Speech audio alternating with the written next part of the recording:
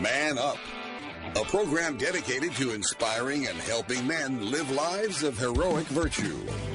And now it's time to man up. Welcome to Man Up on Iowa Catholic Radio. We are broadcasting on the Iowa Catholic Radio Network. I am Joe Stopulus, and today I'm going to be joined by my good friend, Mr. Joe Teeling. He's the founder of the radio station here, and he's also a, uh, a man who is passionate about health and fitness and helping people to live healthier lives. And so I'm excited to have him on today as we continue this series on, on all things health and fitness in the spiritual life. Let's start in prayer. In the name of the Father, and the Son, and the Holy Spirit. Amen. St. Michael the Archangel, defend us in battle, be our defense against the wickedness and the snares of the devil. May God rebuke him, we humbly pray, and do thou, O Prince of the heavenly host, by the power of God, thrust into hell Satan and all the evil spirits who prowl about the world seeking the ruin of souls. Amen. In the Father, the Son, Holy Spirit. Amen. Happy Easter season, everyone. Uh, as you heard last week, uh, if you listened, I talked about we are now in the octave of Easter. The Catholic Church mandates that you have fun. We are mandating celebration for eight days. So I do, I mean, I, I talked about this previously. This idea that if you lived in California and your weather was 75 and sunny every day, and you were an atheist and you didn't have any things to look forward to, and you had no highs or lows or any of that stuff, you would be so bored at the monotony of life. The Catholic Church, if you embrace it, forces you into these seasons of penance and fasting and then forces you to have fun. So the season of Easter here is 40 we have a long season of Easter, right? It is a is a very long season. Well, this is the octave. We are in the middle of the octave of Easter. The octave of Easter is if you so if you follow the the liturgy of the hours, every day's readings are the readings for Sunday. So we are so every so if you're a feast day throughout the year and you're in the liturgy of the hours, it is a day of feasting. And so when that happens is you read Sunday's reading because Sunday is the day of the resurrection. It's the day that we celebrate the Lord's resurrection, okay? If you do the liturgy of the hours every single day this week for 8 days is Sunday. We are supposed to treat every single day this week like a Sunday. As I mentioned, my kids' school is out this week. They do not they did not have school last week for uh, Holy Week, but then they also get this whole week off, and we do not do school this week. We celebrate, and so every day we're setting aside time to do something as a family, something fun, and there's there's holiness in that. Again, the church does not want us to fast every day of the year forever and ever and ever. They want they set aside these days to recognize the glorious resurrection of our Lord Jesus Christ took place yesterday on Easter Sunday, but we celebrate it really hard for these eight days. And so, as I'm talking today with Joe Teeling about health and fitness and all these things and how to live a healthy life, we're going to have to kind of like put a little bit of a conversation around the fact that this is a time where we're supposed to be having fun and celebrating. So, I haven't had a donut since the beginning of the year. I'm going to have a donut this week, okay? So this is not this is not really good for the whole health and fitness conversation, but it gets into the idea of celebrating. And I think that's really important. I do not want you to to lose sight of that. That we really want to take time. Take your kids out for ice cream this week. Find things for them to do. Uh, do whatever it is that you can do to set aside. I'm going to have a delicious alcoholic drink probably every night this week because I've been taking the last 40 days off or last 90 days off. So all that said, a happy Easter to everyone, uh, and have a, a blessed octave of the of Easter and really celebrate these these eight days until next Sunday uh, in the Lord's resurrection. We're going to head to a short break. And when we return, we'll have on Mr. Joe Teeling. Support for Iowa Catholic Radio comes from Westgate Dental, offering cosmetic, family, implant, and general dentistry. Located at 1073rd Street, Suite 1 in West Des Moines, just behind Dowling Catholic High School. Learn more at westgatedentalia.com. Fast Signs is a custom sign and visual solutions company with an extensive selection of digital signage, interior and exterior signs, banners, and vehicle wraps. Learn more at fastsigns.com. Thank you, Fast Signs in Clive, for your support of Iowa Catholic Radio. Support for Iowa Catholic Radio is provided by Ashworth Vision Clinic. Complete eye exams, contact lenses, glasses, glaucoma testing, and urgent eye issues. 515 440 4610. AshworthVision.com. Support for programming is provided by construction professionals, serving customers through a proven process, creating unique design, functionality, and artistic beauty. Construction Professionals is a Catholic family business built on a strong foundation. CPCustomHomes.com. Support for Iowa Catholic Radio is provided by the Serra Vocations Ministry. Serra is an apostolate dedicated to the support of new and existing vocations to the priesthood and consecrated life. Learn more at joinserra.org, join S E R R A.org. Support for Iowa Catholic Radio provided by the law offices of Amanda T. Adams. Catholic owned and operated, Amanda offers a variety of family legal services, including adoption and guardianship. Learn more at amandatadamsjdlaw.com. Welcome back to Man Up on Iowa Catholic Radio. Excited today to have on a good friend of mine and a very important guest here at Iowa Catholic Radio, the founder of Iowa Catholic Radio, currently the chief mission officer, the president of the foundation. The list goes on and on. Mr. Joe Teeling. Good morning, Joe. Welcome to the show, Joe. Thank you. We are in the middle of a series. It's kind of getting broken up by Holy Week, but it's still nonetheless a, a series that I'm on on fitness and health and all things around that. Because I do believe there's this this this you know this it's all intertwined. We've got our life, our physical life, our spiritual life, all intertwined. And our body is a temple of the Holy Spirit, as I talked about last time, and I know you and I can get into. And so we're doing this series on health, fitness, and all those things and how it relates to the spiritual life. And I thought you would be a great person to have on because this is something you take seriously. And I mentioned in my interview with Lance Farrell, or no, this might have been before that. This might have been in my one on uh, on the slight edge. Where basically, I have a vision in my head. Of what is what is this vision in my head? It's me at age sixty eight, and I can still run and I can climb mountains and stuff. And you're basically what I want to be, Joe. well, at least we have the same name. we have the same name, and I I want to be you someday. That's okay. what I want. No, I am inspired. So I'll tell you, Kristen and I were out hiking. It was a fairly difficult hike. It was up into the mountains a few miles, and there were these eighty year olds there. I'm like, that's what I want. I want to be able to go with my wife, be eighty years old, climb up three miles up a mountain then climb back down. That's kind of what I'm looking for. So, all that to say, you know, I think as I'm setting the stage for this, you've obviously taken seriously your entire life, and I think it's a, it's a great thing for me to be able to, uh, you know, reflect on what how did you get where you're at. But before I do that, I want to set the stage a little bit. Um, so you and I talked ahead of the show, and I, as I was praying about this, you know, I think today it's very difficult to live a moral life, right? So you think about all the stuff that we have when it comes to just the the amount of infiltration that the, the devil has in society today through, through pornography, through whatever drugs, all the things. I think it's uh, uh, there's a parallel with living a healthy life. Our jobs are very sedentary, right? So you just think 100 years ago, we had to physically move, right? We had to move. You had to farm. You had to do the things. Our cities, we didn't have cars. And so you have to walk places, right? You walk, if you live in the sixth floor of a building, you walk down six floors, you walk to your job, you came back, you walked up six floors and you got a lot of caloric expenditure just from your daily life. And the food we had was it was actual food, right? So the sugar industry hadn't taken over. We had actual food. So all those things kind of worked together to help people live healthy lives. And today that's just gone. And so I, I think we have all these things working against us, and God doesn't want that. He wants us to live a healthy life. So I'll turn it over to you. I know you've got some thoughts on, on all of this and how it pertains to the spiritual life as well. So I'm going to turn it over to you, let you kind of start it off, and then ask you some very pointed questions about health and fitness in your life, Joe. Okay. Well, thanks for inviting me. I'm uh, eager to get into this topic. And I know in um, uh, you mentioned with your interview with Lance, uh, he talked about our body is a temple of the Holy Spirit. Yeah. So it's a good reminder to our listeners. If you really think about that, obviously the Holy Spirit is God, and if our body is supposed to house God, we should take care of it. We want it to look good. I mean, if you take a look at um, the temple that was built for God in Jerusalem, um, and how exact that was, and how beautiful that was, and how pristine that was, and how well taken care of that was, that's a great way, I think, to relate our our mind to our body. Is that God created our body and He creates all things good. And so it only stands to reason, keeping this simple, is we ought to try to take care of our body like we try to take care of our mind and our spirit. Mm-hmm. And I think for us, hopefully, the point of this of this series will be to give people some ideas on how to do that. Yeah, and sure. so I look at this and I go back to my kind of you know, I look at there's kind of two categories. There's this idea that we have everything's against us, right? We have sedentary lifestyles, jobs that don't require us to move. We, we literally don't, we don't have to move. You can have Amazon deliver everything to your door. Oh, I know it. Your job, you can work from home. You can work from home and have Amazon deliver everything to your door and never leave your couch. I mean, that didn't. You couldn't do this 100 years ago. 100 years ago, you would just die. And today we we have this uh, you know this ability.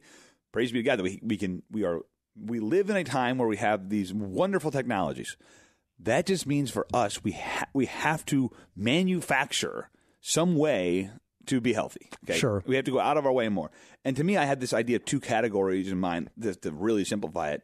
You've got activity on one hand and nutrition on the other. So basically, calories in, nutrition, calories out, activity. And within the, there's kind of subsets with the nutrition piece, and we'll get into that. But I want to help people understand, you know, what I don't think people are taught. I don't think people know what it even what is healthy anymore. I mean, I think we've lost track of that because the food we eat. I, I told Lance this like a great kind of barometer is if would your great great great grandparents recognize the food you're eating? Probably not. Yeah, I mean, in most cases, probably unless you're eating a steak right. or a, you know, a piece of chicken or Yeah, they, that's right. That they they re- recognize the meat and maybe the potatoes, yeah, right? some fruit and stuff. So. So you know, um, Joe, you know, as you mentioned, my age already at 68 years Oh, old. I didn't. I thought you were 67. I was. Well, Just, no, I I'm- said 68. I am 68. Happy birthday, whenever it happened. yeah, that was December 12th. There- oh, that's right. That's right. That's right. regardless, um, I, I think that uh, part of the challenge in in your body health is very similar to your spiritual health. Sometimes when you get into um, bad habits of sin, sometimes people feel like they're never going to break that. They're never going to be able to have salvation, or God can never forgive mm. them. And I think it's that same way physically when people get into a rut physically, they maybe they get a little bit overweight, or maybe they haven't been active for a while. And it's not part of their life. It's almost like I can't ever get back to mm-hmm. being in good health. There's nothing I can do. The mountain's too tall. And I've experienced that myself a little bit, but I've experienced that mostly in just relationships and friends and family that it's like, man, you know, what do I do? And so, you know, if you're going to climb a mountain, right, you have to take that first step and then it's another step. But it's simple. You just start to climb. And I, I think it's the same way when you th- think about the body and a healthy body. You got to make it simple.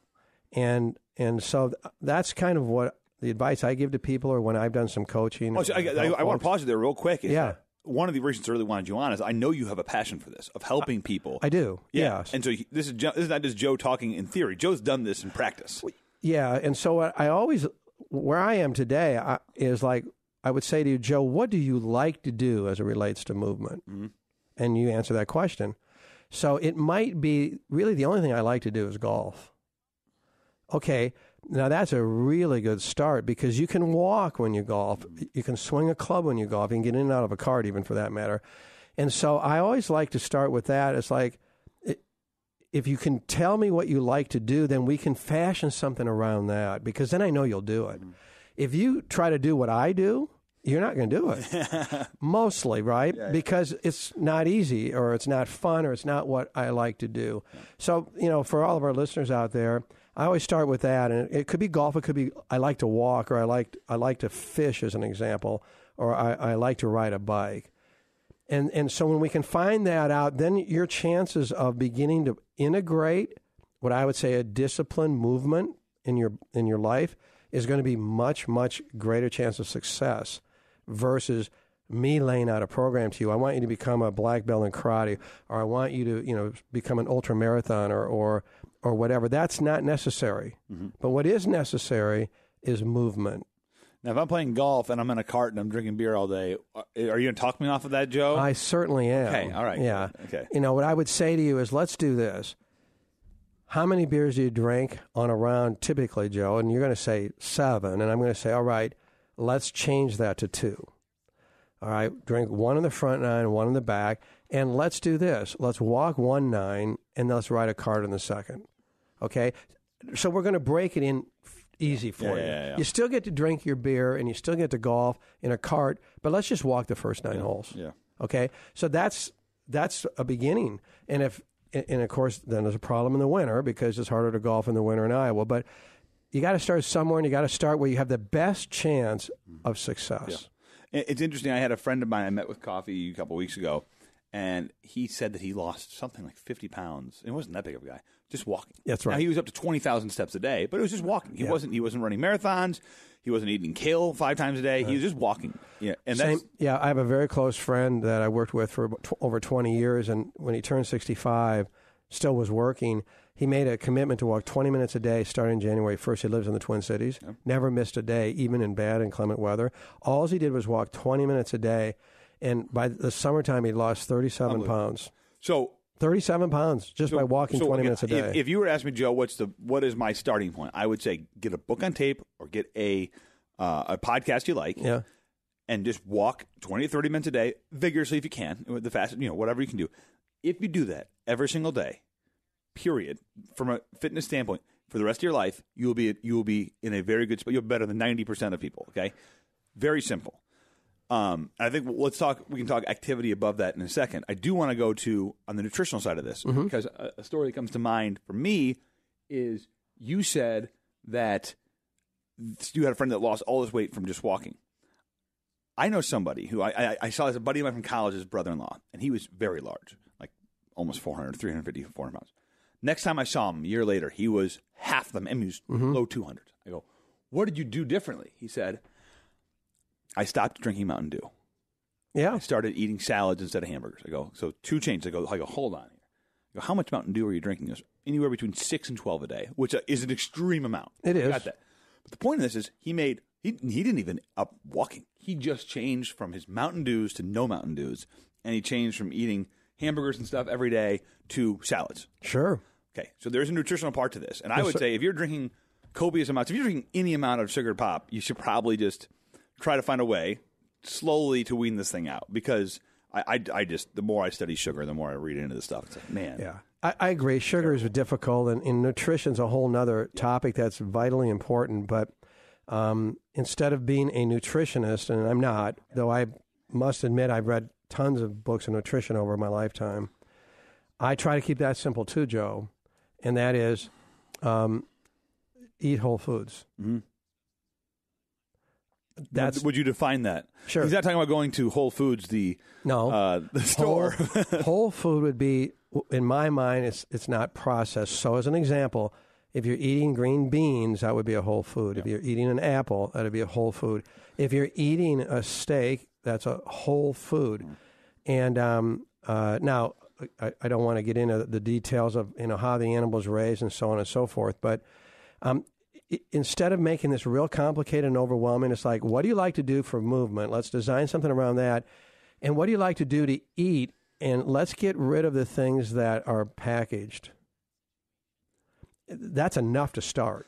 You know, there's a guy I uh, I had an early on in the show. This Dr. Mike Abouasli, and he has his six rules for life essentially on how to. And he says if you're going to a supermarket, Hy-Vee or something, just go to the outsides. Mm-hmm. Stay, go straight to the left, and stay to the back.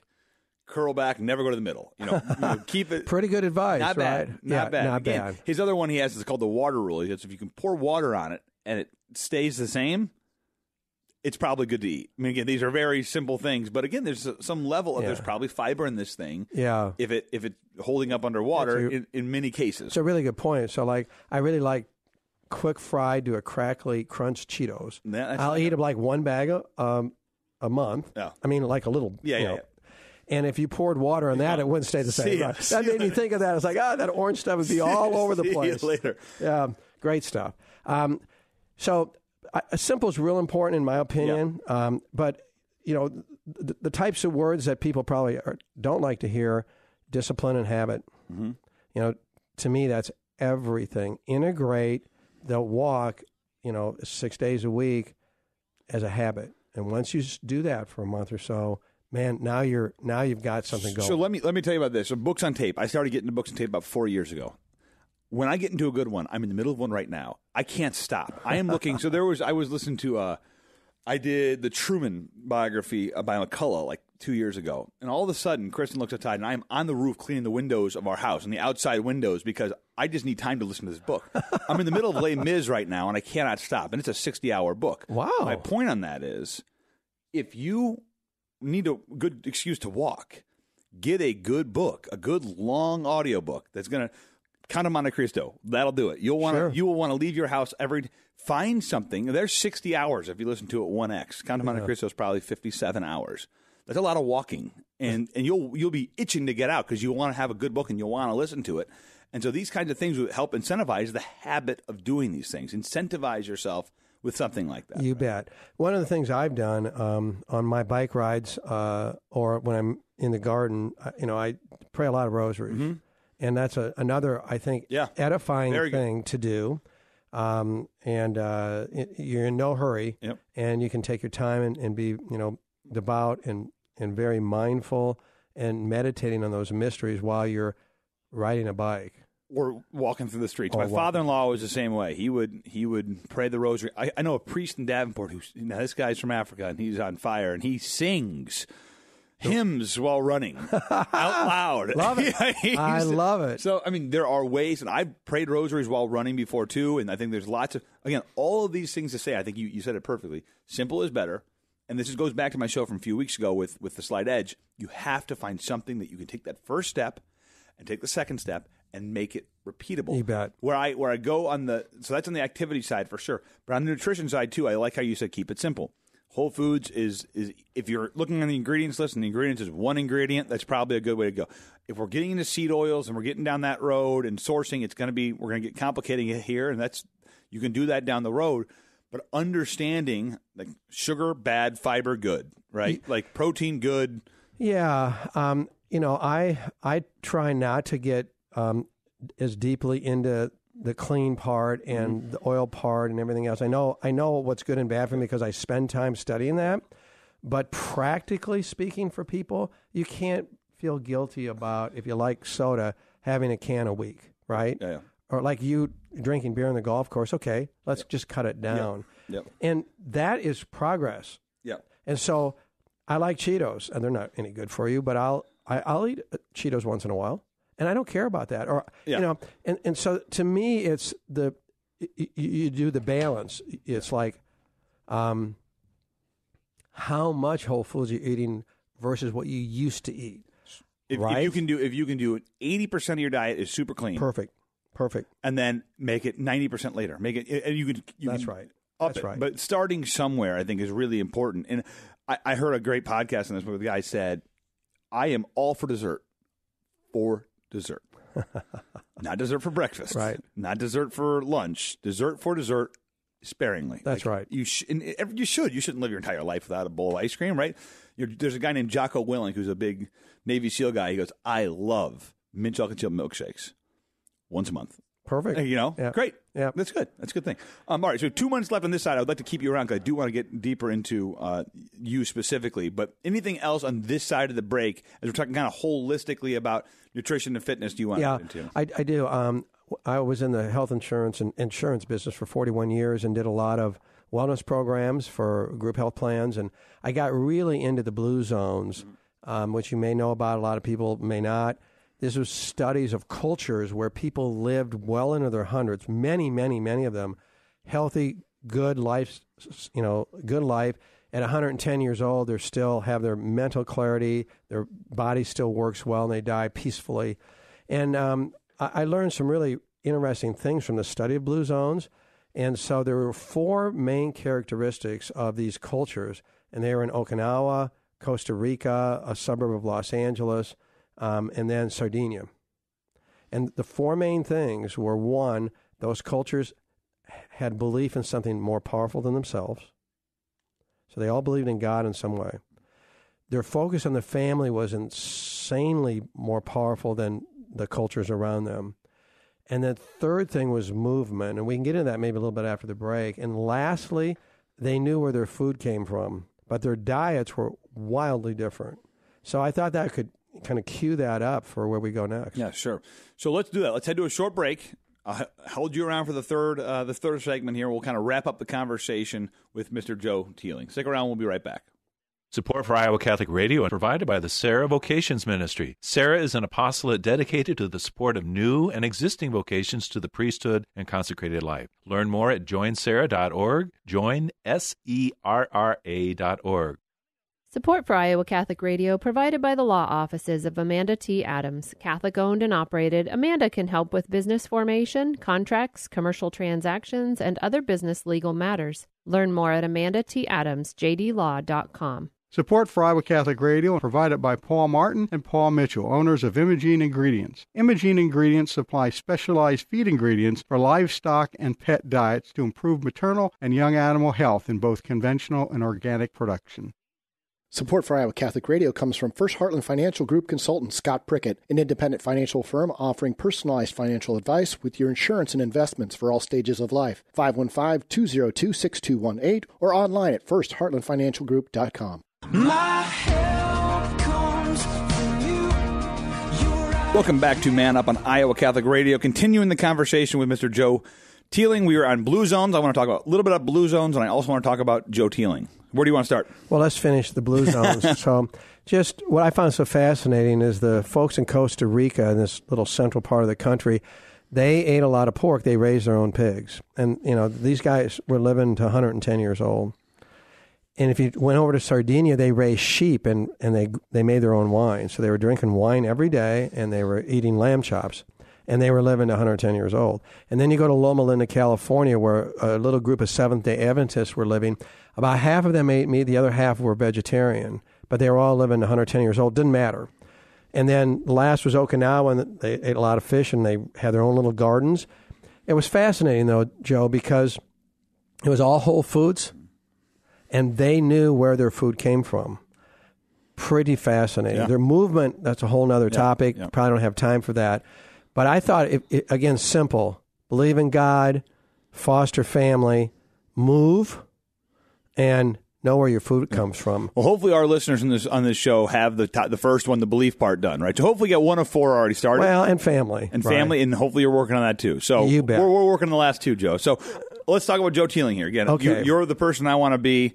30 yeah. years from now, whatever it is, what have you done throughout your life to maintain some level of fitness and what you're doing today? Well, sure. You know, I was very blessed as a young, very young man. I started running. I like competitive athlete, and I was good at track. I was fast, and I was a tiny little guy. And so, in seventh grade, they allowed the sixth graders to go off for the seventh grade track team, and I made that team. And uh, by the time I was a freshman in high school, I was four ten and I weighed eighty two pounds.